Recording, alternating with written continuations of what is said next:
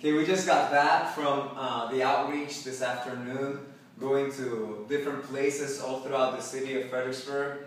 Uh, we went to parks, we ministered to the homeless, uh, went to downtown Fredericksburg, and the Lord moved powerfully.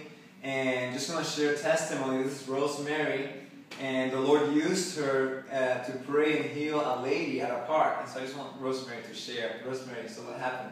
Well, we uh, saw a lady named Jerry, my friend Pam, and her name is Jerry. And we, I asked her first what her name was and uh, introduced ourselves and asked if we could pray for her or anything. And she said her left knee was in a lot of pain and pretty stiff. She had a right knee replacement.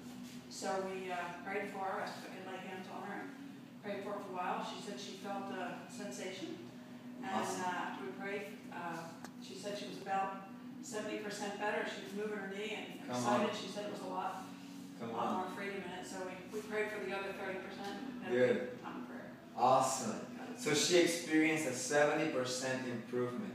I was talking to somebody else on your team, and they said that she felt a sensation of, of heat or a fire on her back. So that's pretty cool. Anyways, praise God. God's good.